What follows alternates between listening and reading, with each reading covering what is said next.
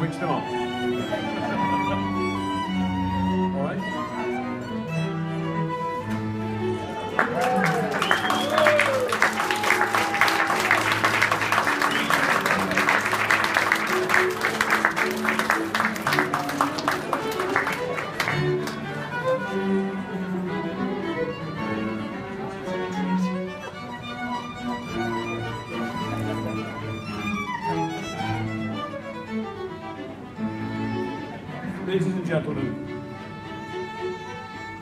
I would just like to take this opportunity to say a few words of acknowledgement and appreciation of this occasion. It seems that almost 20 years after his death, the interest in James Herriot still remains. I would say to begin with, Rosie and I claim no credit whatsoever for the materialisation of this statue. In fact, we weren't keen at all at the idea. We thought, would my father have approved of this, or would he have not? Now, however, as we've watched over the years, the, the actual, over the last year, the transition towards the completion of this statue, we've changed our minds. And when I saw the completed statue, which was yesterday when I saw it, I nearly jumped out of my skin. I can just hear him speaking to me now. I expect his head to turn like that bronze figure in Jason and the Argonauts. Turning to the left and saying, Jim, there's 40 bulls to castrate at Ainsley's, get going. Happy memories of general practice. I think that Sean Hedges Quinn, who is with us tonight, the sculptor, has done a fantastic job. He's a top sculptor. He's done a lot of sports stars. He's done Billy Bremner, Nat Lofthouse. Bob Stokoe became manager of Sunderland Football Club. He's done Captain Mainwaring from Dad's Army. And he's going to do Margaret Thatcher. And when I think about this, I think my dad's in pretty good company. Bob Stokoe managing my dad's football team. What better can you get than that? He was always an admirer of Maggie Thatcher, and of course, he was a great fan of Dad's Army. So, yes, anyway, thank you, Sean. You've done a real good job, and you've done the old man proud. Thank you.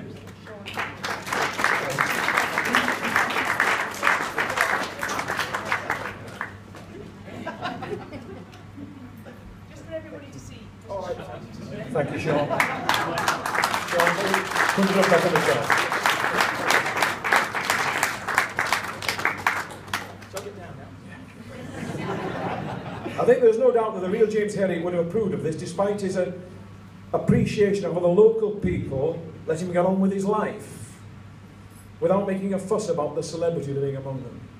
When I worked with him in practice, I saw Americans come into our surgery, shaking him by the hand and bursting into tears just to shake the hand of James Herriot. And I saw my father's face with a glassy expression on his face, wondering what's all the fuss about.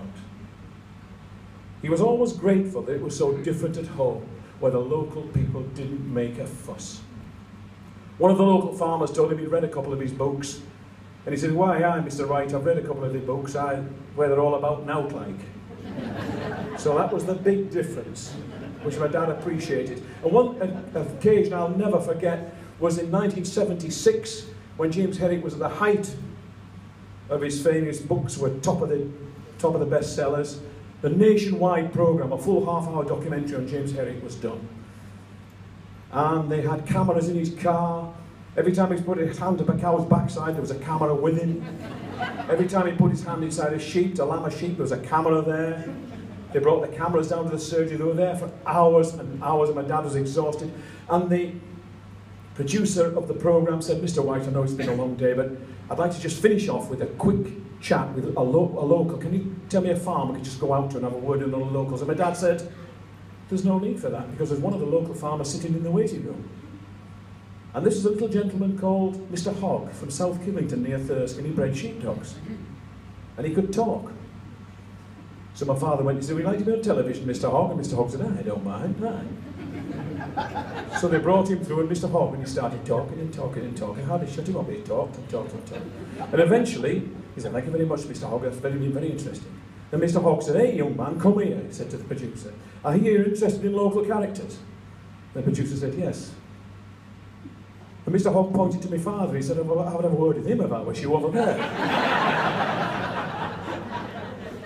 And he said, Don't let it go no further, like, just between you and me. But I've heard he's written a couple of books. I've already said that James Herriot has been dead for al- almost 20 years, but tonight, as already been mentioned, we have the real James Herriot here with us.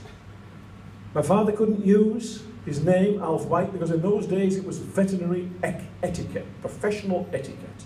And you weren't allowed to use your name because it was construed as advertising. So we had to find a pseudonym. And every time we thought of a name, he used to reach for the veterinary register. And there's tens of thousands of us. And every time he thought of his name, there was a vet called that name, so we couldn't use him. And he was getting desperate because, because the, the publication date was closing, getting, closing fast. And he was watching television, watching a football match, and Birmingham City were playing Manchester United, and in goal was a goalkeeper called Jim Herriot. A well known goalkeeper, actually. Played for Scotland as well as Birmingham City, Dunfermline, Hibernian. Playing a great match. My dad thought, hey, that's a good name, and he reached yet again for the veterinary register, and there was no Herriot there. And that's how he got his name. Now, a lot of people ask me this question how did he get his name? And they think there's a deep seated meaning behind the use of the name Herriot. He got it off a football programme. and there was an interesting little aside to that because when his first book was published, he only sold 102 copies to start with, and the local solicitor had bought a copy, and he came up to my father and walking the dogs on the flats in Sowerby near Thirsk, and he said, Alf, I've read that little book you've just written, and I think it's very good. My dad said, thank you very much, Bill. And he said, Alf, I didn't realise that you were so intelligent. and my dad said, oh yeah. He said, yeah, the choice of the name, Herriot, what an inspiration. My father said, Oh, yeah. He said, Yeah, I didn't know that you were a student of medieval history. My dad said, Yeah. He said, Yes, you knew, of course, that the Herriot is a prize calf that the feudal lord exact from the serf in medieval times for death duties. And you knew that. What a wonderful name. I had no idea that you were so well informed. And my dad said, Yeah, there we go. Anyway, Jim Herriot, the goalkeeper's come all the way down from Larkhall in Lanarkshire with his granddaughter this evening. It's great to have him with us. Thank you very much, Jim, for being here.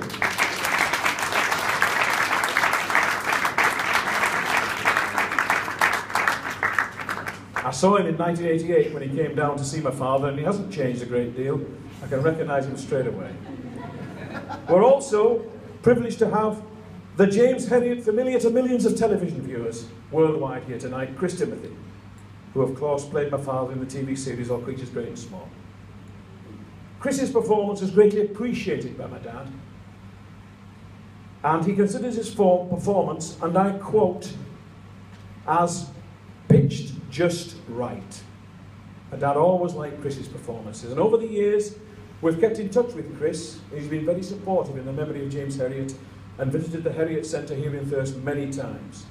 This support and interest is highly appreciated, and it's real good to have you with us tonight. Thank you, Chris.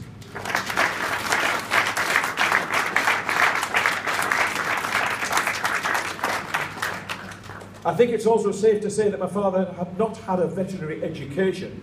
James Herriot would never have materialised. He was always proud of his connection with the city of Glasgow where he spent his formative years.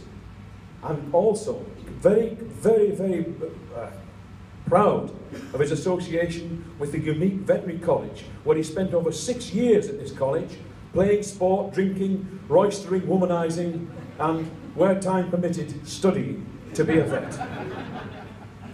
He published very little about his days at veterinary college, only referring to his days there in the introduction to James Herriot's dog stories. In fact, today it's so different in that anybody wanting, any children from leaving school want to be a vet, have to get these crippling marks at A level, three A's in dreadful subjects like chemistry, maths, physics. And I compare that to my father's day when he just strode into Glasgow Veterinary College from Hillhead High School with English, French, and Latin. Nobody seemed to bother. And in, in my father's day, it was a five-year course as it is today, but many students were taking 10 years to pass a five-year course. There was never any pressure. An extract, I will just read very quickly, an extract from James Herriot's dog stories when he says one chap at the University of Glasgow, not the University of Glasgow, Glasgow Veterinary College, Macaloon by name had been there for 14 years. but he managed to get only as far as the second year in the curriculum. He held the record at the time, but many others were into double figures. The 14 year man was held in particularly high esteem. And when he finally left to join the police force, he was sadly missed.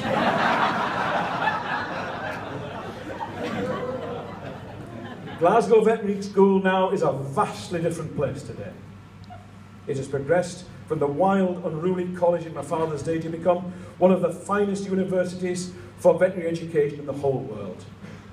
My dad was always proud of his old alma mater, and the University Veterinary School in return have recognised their famous alumnus, honouring him with a library named after James Herriot, together with a James Herriot Scholarship Fund helping to finance postgraduate veterinary education at the university. We are privileged to have with us this evening the Dean of the Veterinary Faculty at the University of Glasgow, Professor Ewan Cameron.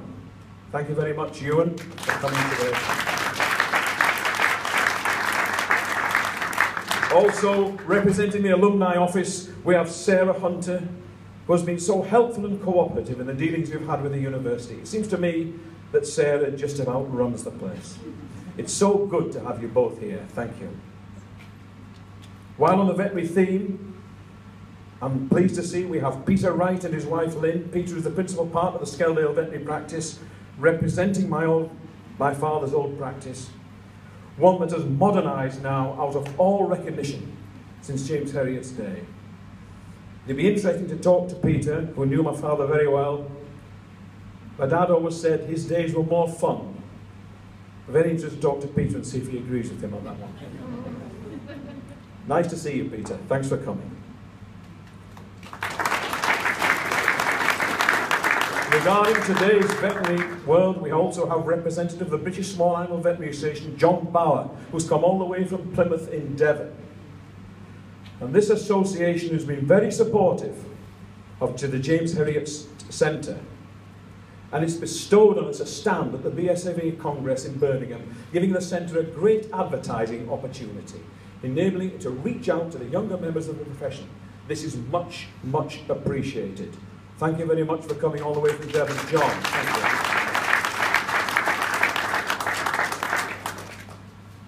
Prominent characters running through the Herriot books are the Yorkshire Farmers, a hardy breed of human race that fascinated James Herriot from the very first days he came to Thirsk. And I think it's great that we have tonight with us Robin Bosomworth and his wife Doreen. Robin's father, Bertram Bosomworth, was a loyal and valued client of my father, and he epitomised the resilient farmer, the tough, hard farmer that James Herriot describes in the books. My dad always referred to Bert as my very first customer. I'm not sure why, but he always referred to Bert as his first, first customer. Bert and my father were great friends and they had a mutual admiration for each other. As an example of the toughness that my father admired in the local farmers, my dad had a friend called Alec Taylor, a Glasgow friend who was in the war in 1944 and he fought in Italy in the Apennine Mountains in 1944 and ended up fighting at Monte Cassino, the big battle of World War II in Italy. He was tough, he was strong, he was young, and he was broke, was Alec. And my dad got him a job with Bert Bosomworth. It just about killed him. Yorkshire farmers. And you know one thing, and I know Robin's heard me say this before, but it went right home to me. Uncle Alex said to me many, many years later, when reminiscing about his younger life, he said, Yes, Jimmy, I survived the paratroopers and the panzer divisions at Monte Cassino, but I couldn't cope with Bert Bosomworth at the Abbott's Cross. A man to honour us with his presence tonight, as already mentioned, is Gary Verity, Chief Executive of Welcome to Yorkshire, a man who works tirelessly in promoting this great county as a wonderful tourist venue. This year, Gary has done a James Herriot for tourism in this county through his tremendous work in introducing the Tour de France to Yorkshire. Those first two days of the tour, with a cyclist racing through our country in great weather and in front of mammoth crowds, is something I shall never forget, and it has given an absolutely inestimable amount to the tourist industry here in our great county. I am awestruck with Gary's achievements. I guess I always have a deep respect for people like Gary who do things I could never do. Thank you, Gary, for being here.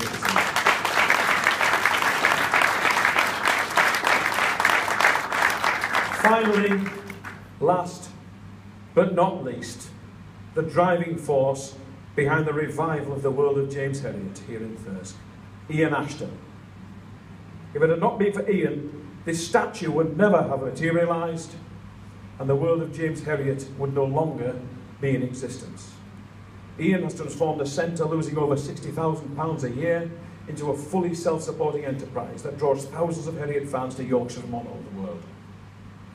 He's been ably supported by great staff, Mary, Edith and Kate, as well as terrific support in publicising the centre with Michael Fram, John Gallery, Dave Crocker, all giving valuable contributions.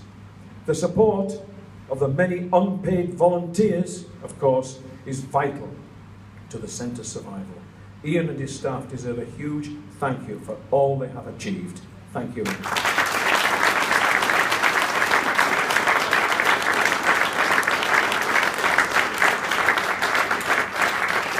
Finally, thank you all here for attending. Without the great support of the general public, the Herriot Centre would not exist and the statue would not be standing here. And I'm going to finish off because this man here, he had a really a cosmopolitan existence in a way. He's an Englishman born of English parents, brought up in a Scottish city, and ended up being made an honorary Yorkshireman in 1993. And he saw all different types of humour from the northeast to Glasgow to Yorkshire. And I just finish off with a favourite joke of mine, that, that, that was a favourite joke of my father's, that was told, it, it epitomises to me the dry humour of the Yorkshireman. And it was about the couple from Leeds that went to Wharfedale during hay time, and the man stopped his car and he said to his wife, look, look at that scene, a man and wife and six kids making hay. What a wonderful sight. I've got to speak to him.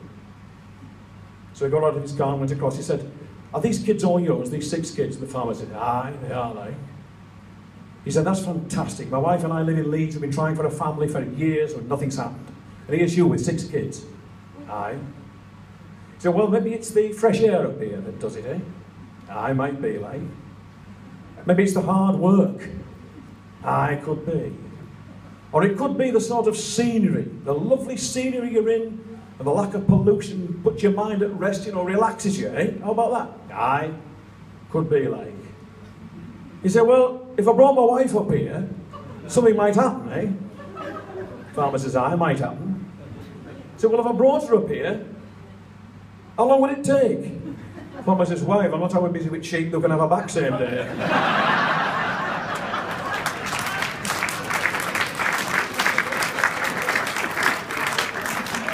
Thank you very much, ladies and gentlemen, again for being here, and on to the most important part of the evening, which is eating. Thank you very much indeed.